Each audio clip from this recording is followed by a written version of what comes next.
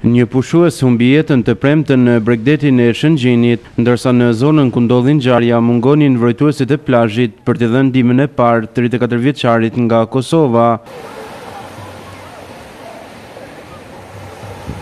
Siguria gjatë këtij sezoni turistik është kthyer në shqetësim në plazhin e Shëngjinit. Ndonëse jemi në mesin e sezonit, në pjesën më të madhe të plazhit mungojnë kullat e vrojtimit, ndërsa dhe aty ku janë vendosur, shfaqja e rojeve bregdetare është sporadike.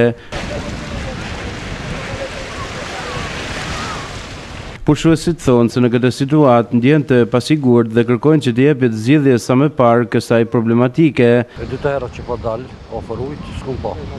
A e nevojshme që të ketë roje? Është e nevojshme, ka pak rrymë. Valë të rritë ka nevoj ka nevoj. Nuk ka. A problem kjo pjesë?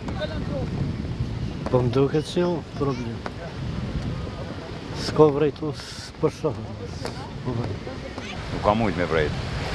Nuk e në po? Nuk e Po në shtatë e në dikun që s'asht mirë, po unë s'kum mujtë me i vrejt. Normal që duhet me po me konë dikush për shambull që i vëzhgon, Asht krejt normal se këtu për shembull asht deti i plitkë, duhet me pas kujdes për shkak të fëmijëve.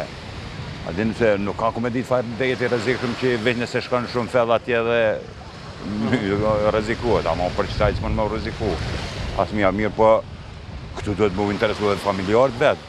E kanë prishë këtë plazhin komplet. Ajo kulla e ndërtimit, këtu kanë ba kulla Kulla më ashtu është, s'ka asnji lloj rregull, asnji lloj gjë. Sot, sot s'i shef ti, janë gjysa njerëz. Vjet në këtë kohë ka qenë plot, ka qenë koronavirus. E s'kanë ardhur kosovarë, të hujt nga Italia. Po është politika që nuk e lënë Po zë me fol ma gjatë mo. Burime nga Bashkia Lezhë kanë bërë me dije se ende nuk ka përfunduar lidhja e kontratave me subjektet private që e shfrytëzojnë plazhin dhe menjëherë sapo të kryhet ky proces do të ushtrohen kontrolle për të parë nëse i kanë përmbushur detyrimet e përcaktuara ku sigurisht në to bëjnë pjesë dhe kullat e vrojtimit.